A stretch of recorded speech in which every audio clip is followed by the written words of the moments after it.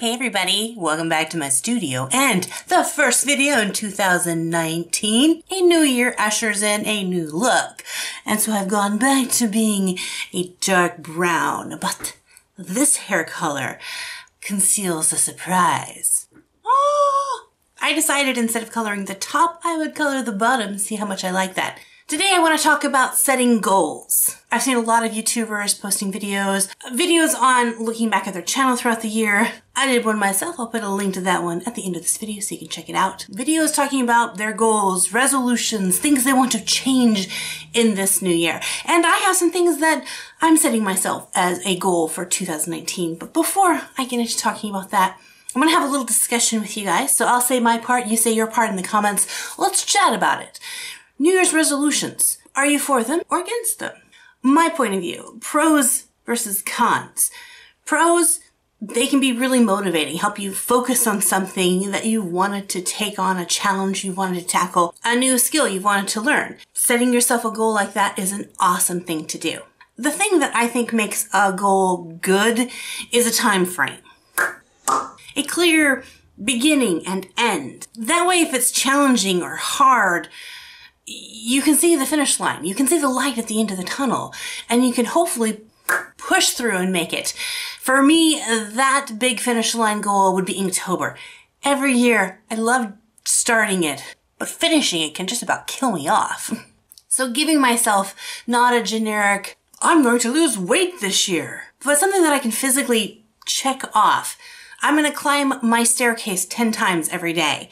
I'm going to walk a mile every day something that's attainable. But if I give myself a goal that's just kind of, I'm going to do this more, how much more? And then what steps am I going to take to achieve that goal? So that's kind of the cons. If I set myself a goal that doesn't have parameters, it can fail.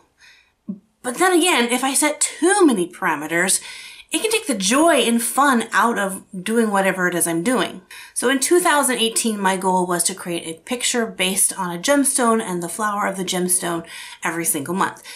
Pretty easy. Except I put two extra parameters. I had a certain grid size of paper that I wanted and an art style. And while it gives a nice series set to all of them and I was able to finish them and I enjoyed doing them, those two extra parameters were super close to being too limiting.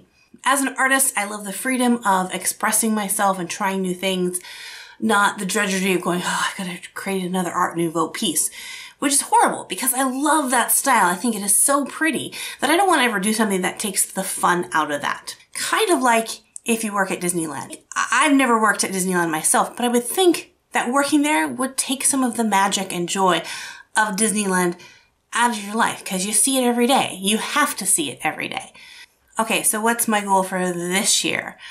I'm making a fun goal, but not setting a whole bunch of parameters around it. Every single month in 2019, I'm going to be producing a new sticker sheet. I love stickers! Why not make a challenge for something that I would enjoy creating just for myself and then also being able to offer it for you guys if you want to partake in some of the stickers.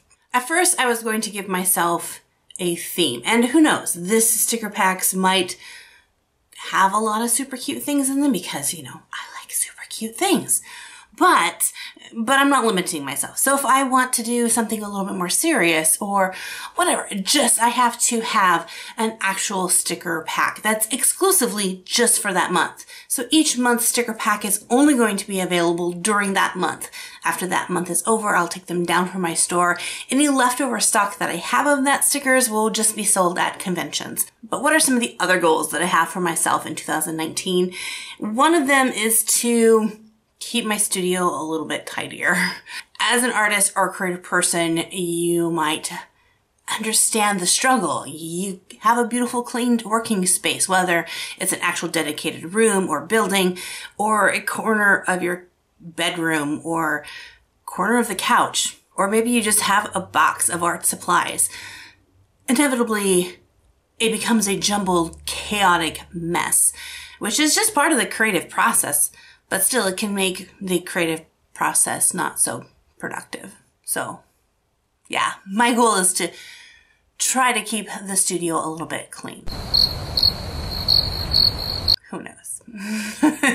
if you follow me on my social media accounts, specifically Instagram, you will have seen a sneak peek of this a couple of days ago. But I received a lot of questions about how I make my stickers, what sticker paper I use. Right now, the sticker paper I'm using is from Online Labels, and I'll put the actual number right here so you can check that out. I will also leave a link at the end to a video where I talk all about the process of making stickers. It should answer all of your questions in there. As you probably have guessed, the theme for this sticker pack is cute marshmallows or sweet marshmallows. So I have a girl who's kind of marshmallowy. Her dress is kind of reminds me of that twisted marshmallow candy. I don't know if you have that in your country, but we have I can find them at the Dollar Tree, but they're just these pink and green and white twisted marshmallows that you can eat. It's really cute. And I wanted to make her dress out of that. And then a ton of just cute little marshmallows. I love the mustache monocle marshmallow. He's probably my favorite.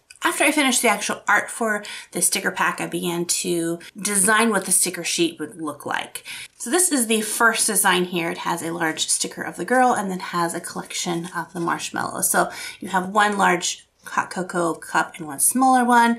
You have all the same size marshmallows here and then slightly varying sizes here. So you get two sets of each for this. But after I printed this out and looked at it, I kind of saw some things I wanted to change. When you're creating your art products and you do a test print, don't be afraid of going the extra mile and steps and fixing things.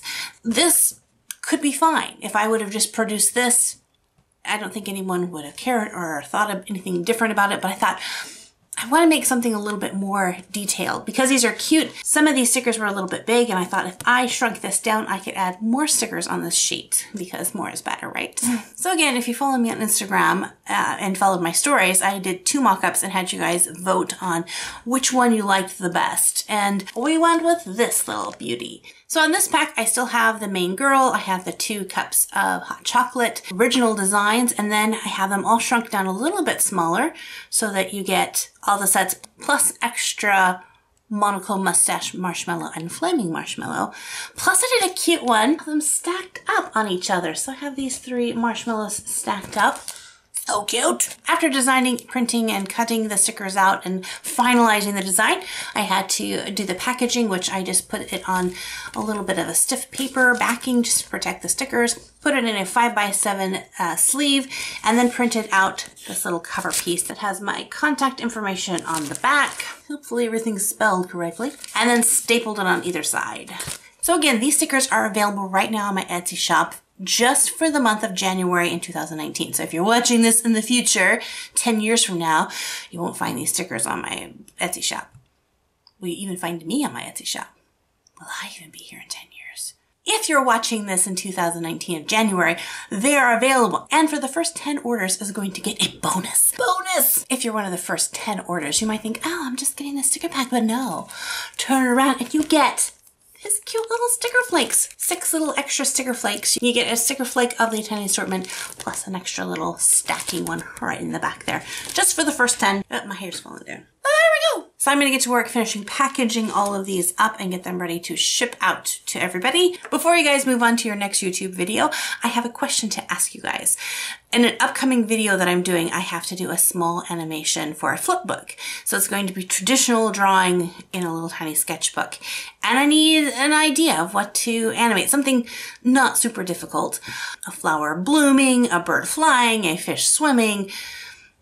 Give me your suggestions in the comment section below. Anyway, thank you guys so much for hanging out with me in this video. If you enjoyed it, make sure to give it a big thumbs up and hit that subscribe button if you're not yet a subscriber to my channel. If you are, do you have the notification bell rung? If you do, then you should get notifications every time I upload a new video. Let me know if you get those notifications. I'm curious. And if you're wanting some more art a la carte fun, you can definitely check out this video. I told you I would post that sticker making video right here so you can find out more about making stickers. Anyway, guys, have a great day. God bless you guys. And we'll see you in another art video. Bye. Stick.